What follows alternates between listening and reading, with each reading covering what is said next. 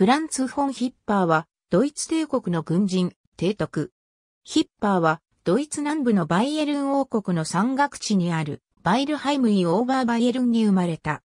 18歳で、帝国海軍に入り、士官候補生として、当時まだ小舟であったフリゲート艦、ニオベ及び、ライプツヒに乗り組み、海軍軍人の道を歩み出した。1884年から1903年には、魚雷艇を指揮、その後走行寿命艦、フリードリヒカールの艦長に昇進した。1913年10月、彼はドイツ太陽艦隊の索敵部隊司令官に任命された。1914年に第一次世界大戦が始まると、数に勝る英国海軍を相手に幾度かの戦果を挙げた。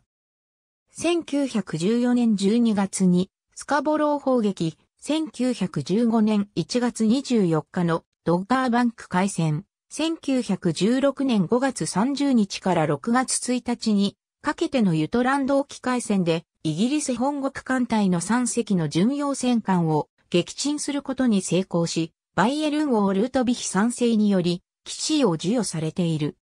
1918年8月、ラインハルトシェア提督の後を継いでドイツ、太陽艦隊司令長官に任命された。1918年11月4日に、キール軍港で水兵の反乱が始まると、彼は戦争の完遂を命令したが、聞き入れられることはなかった。その後連合軍との休戦交渉が妥結すると、交渉条件に従い、彼はドイツ艦艇をすべてイギリスの海軍基地、スカパフローに向かわせ、11月30日にその職を辞した。翌年1919年6月21日、不本意な講和条約案に抑留中の74隻のドイツ艦船の多くは連合軍への艦船引き渡しを拒み、スカパフローで自沈した。余生をハンブルク郊外のオツマルシェーンで過ごし1932年に死亡した。去年68。遺体は故郷の町で埋葬された。